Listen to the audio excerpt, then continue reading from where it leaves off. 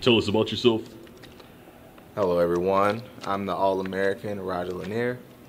I've been doing this for about two and a half years now, and uh, just living my dream.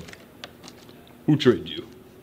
Jack Thriller at Dan the Beast Severin's wrestling camp in Coldwater.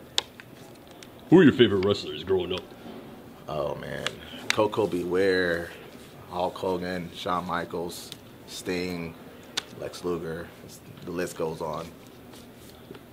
Was there uh, was there a single match that you saw that just struck you as saying, "I want to be part of this business"?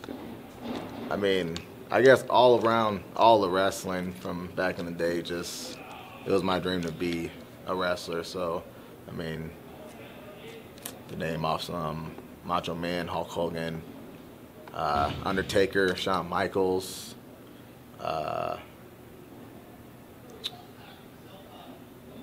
I mean, so many. Ultimate Warrior, Macho Man, that was a great one too. I mean, there's so many. Like, you gotta love the sport. So it's too many to name. Too many to name. Who would your dream match be against?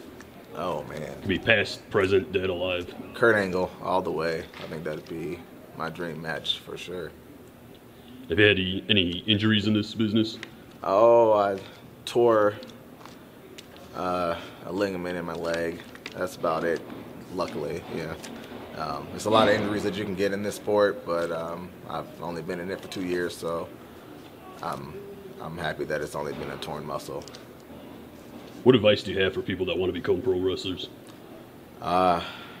Be serious about it. I mean, it's a long journey. You got a lot to do, and it's, it's never ending. I mean, you're always gonna owe.